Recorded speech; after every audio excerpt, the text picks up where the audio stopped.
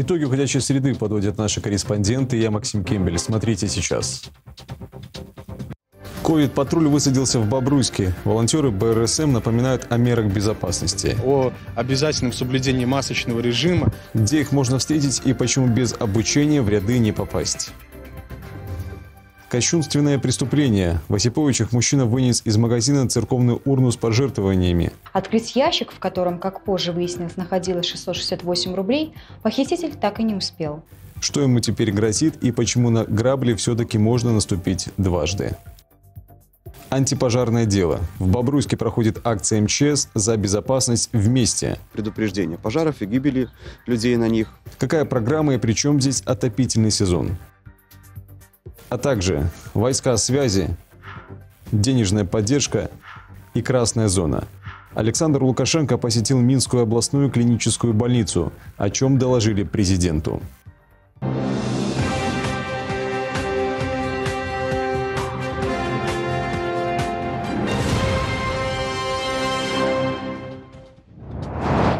Минздрав Беларуси обновил статистику по COVID-19. За минувшие сутки зафиксировано 2076 пациентов с положительным тестом на коронавирус. Всего с начала пандемии заразились 577 932 человека.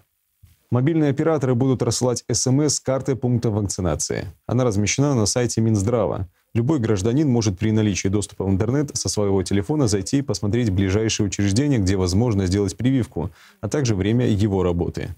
Вместе с тем можно вакцинироваться и на рабочем месте. Для этого руководители организаций э, составляют списки тех, кто желает вакцинироваться, и организации здравоохранения, э, то есть э, прививочные бригады приезжают по месту работы.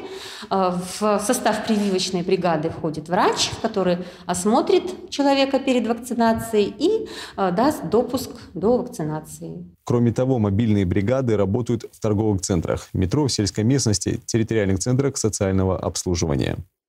Тем временем в Бобруйске волонтеры БРСМ вышли на ковид-патрули. В условиях пандемии все средства хороши. Например, раздача листовок около торговых центров. Именно там большое скопление людей. Но о правилах многие забывают. Поэтому есть повод напомнить о личной безопасности и способах защиты. Сегодня наши волонтеры БРСМ «Доброе сердце» в очередной раз напоминают жителям города Бобруйска о обязательном соблюдении масочного режима, а также им напоминают о том, что э, в нынешнее время у нас можно пройти вакцинацию от COVID-19, э, чтобы минимизировать риски, так сказать, распространения этого вируса. Ковид-патруль будет дежурить в торговых центрах со вторника по четверг с 15 до 16 часов. Молодые люди, прежде чем подключиться к волонтерской деятельности, прошли обучение и инструктаж. Смех и грех. В Осиповичах мужчина украл из магазина церковную урну. Дело было днем. Благодаря камерам охранник увидел, как посетитель выносит ящик с деньгами. Люди жертвовали на строительство храма. Сразу позвонил на номер 102. Правоохранители сработали четко, через пару минут задержали вора. Им оказался 29-летний местный житель. Открыть ящик, в котором, как позже выяснилось, находилось 668 рублей, похититель так и не успел. В отношении жителя Осипович возбуждено уголовное дело. К слову, мужчина не впервые охотится за чужим добром. В прошлом году его лишили свободы на три месяца. Тогда он похитил ящик с пожертвованиями в столичном ГУМе. День повара, денежная помощь и атлантический циклон. На завтра в Беларуси объявлен желтый уровень опасности. Какой будет температура? Громкие заголовки дня далее в специальном обзоре. Президент Беларуси продолжает мониторинг системы здравоохранения. Сегодня Александр Лукашенко посетил Минскую областную клиническую больницу, в частности, красную зону. Ему подробно доложили о работе в направлении COVID-19, количестве пациентов, наличии необходимого оборудования, лекарств и кислорода. Глава государства отметил, в некоторых регионах наблюдается снижение темпов заболеваемости. Число больных, конечно, увеличивается, но уже не так стремительно, как это было две недели назад. Главнейший нерв армии – белорусские военные связисты отмечают праздник. История их профессии – пример мужества и патриотизма. Она внесла неоценимый вклад в победу в годы Великой Отечественной. Сегодня обучиться таким навыкам можно в военной академии Беларуси. За 20 лет там подготовили около трех тысяч офицеров. Белорусский Красный Крест начал новые этапы выдачи ваучеров уязвимым категориям граждан. Поддержка направлена людям с инвалидностью, с доходом ниже бюджета прожиточного минимума и многодетным семьям. Помощь денежная. Общая сумма 270 тысяч. Закуплено и распределено по областям 2000 чеков на сумму 135 рублей. Раздать их должны до 15 ноября. Сегодня в Беларуси отмечают профессиональный праздник повара. Дата была установлена в 2004 по инициативе Всемирной ассоциации кулинарных сообществ. По традиции в кафе и ресторанах проводятся различные гастрономические конкурсы, мастер-классы и акции. Оценки ставят не только за вкус блюд, но и за скорость приготовления, новаторский подход к привычным сочетаниям продуктов, а также за внешний вид при подаче.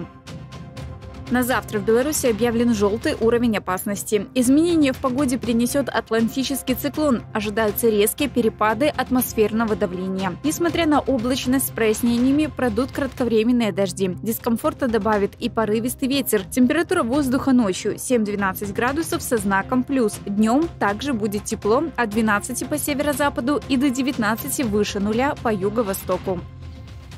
Повторение «Мать учения» в Бобруйске проходит акция МЧС за безопасность вместе. Стартовала она 18 октября. Осенне-зимний период, он же отопительный, пожары опасны. В планах у спасателей рейды, беседы с профилактическим уклоном. Их цель – это предупреждение пожаров и гибели людей на них, а, повышение уровня безопасности в домовладениях и квартирах, местах проживания граждан.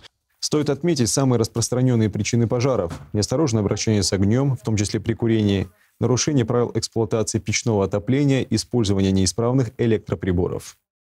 Двухматчевое противостояние хоккейный клуб «Бобруйск» на своем льду принимал Соболь из «Березы».